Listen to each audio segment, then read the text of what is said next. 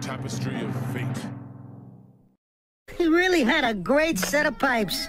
Oh boy, and you kids had choice seats. Talk about your nasty twist of fate, huh?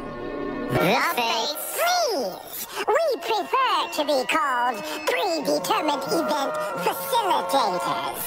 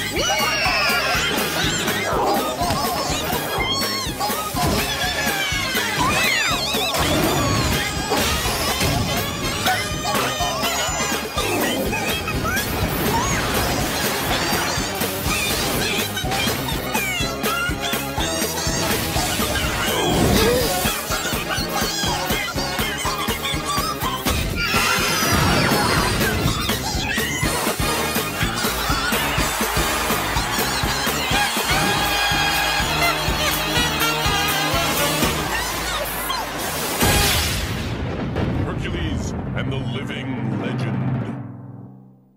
Yeah, yeah, yeah. Real, real shame about that, that, uh, that flood thing. Take care of that heel. Take care of that kid, huh?